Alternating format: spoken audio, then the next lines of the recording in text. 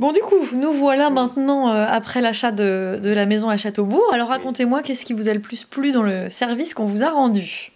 Bah, la rapidité Ouais. d'avoir trouvé ce qu'il nous fallait. Mhm. Euh, la superficie, le prix de l'achat, parce que c'était pas gagné il y a un an. Mhm. C'est clair.